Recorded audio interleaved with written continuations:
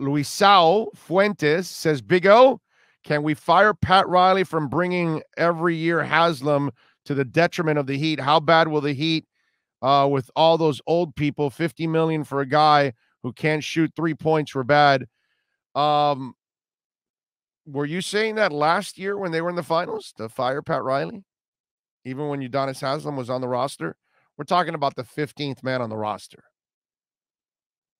When is the 15th man on the roster the difference maker for your NBA team? Think about that. Okay. Don't overreact, bro. and you know what it is? I tell Luisao Fuentes, like I would tell a lot of other fans that have come to me this way.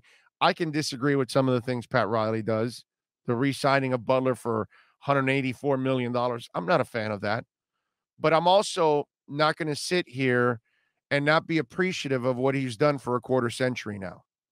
He's brought us three titles. What is it? Six trips to the NBA finals now, right? How many how many Eastern Conference finals appearances? A boatload. How many division titles? A crap load of those.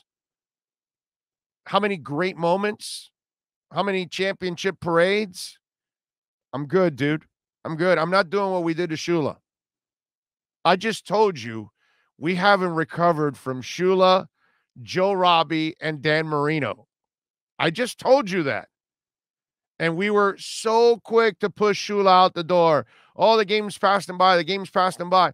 You know what? We were assholes.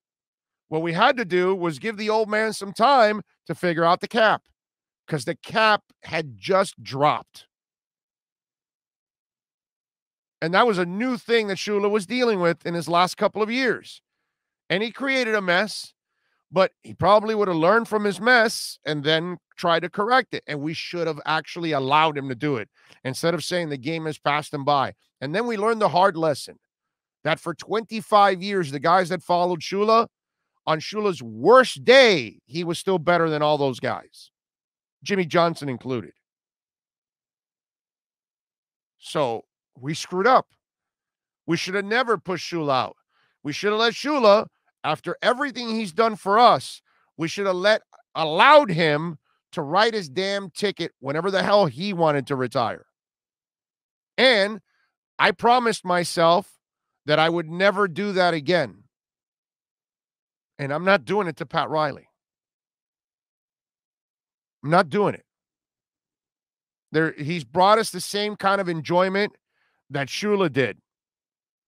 He was he's been as dominant as Shula has been or was. Rest in peace, sir.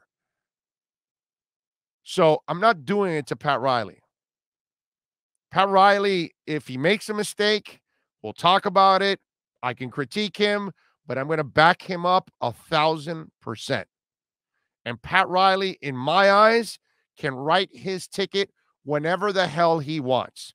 If he wants to leave to Long Beach at the end of this year, God bless you, dude. Thank you, man. Thank you for what you've done for us. If he wants to leave in four years, then no problem. I'm here with you for the next four years. And I fear the day he has to walk out the door. Fear it, my brother. Fear it. Because there's no guarantee you will ever experience that again. The day Shula walked out was the day an era ended and an era that we all use as the crutch to the greatness of the Dolphins. Since then, the Dolphins have been pretty much an embarrassment. Just got to call it like I see it. Don't think you can produce the Shulas and the Rileys just like that. Okay? That that stuff just does not happen. Once in a while, you're blessed and you get that iconic figure that can really get it done. Look at the University of Miami football team. They've always been a stepping stone for coaches.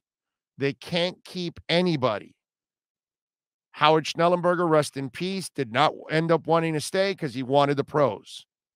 Jimmy Johnson wanted the pros. Dennis Erickson wanted the pros. Butch Davis wanted the pros and then all the other guys forget about it after that. I mean, they they couldn't even sniff the pros. You know what I'm saying? At least as head coaches. I know Al Golden was some tight ends coach or whatever with Detroit or whatever crap, but still, you know what I'm saying? It just don't be so quick to push Riley out the door. You have no idea what's coming next. I'm just telling you. Appreciate it, man. As, as remember, Riley's worst years practically are, are the years where you're you're getting in the playoffs. You know what I'm saying? Seven, eight seed, six seed. And then very few times you've had those years that you've actually even missed the playoffs.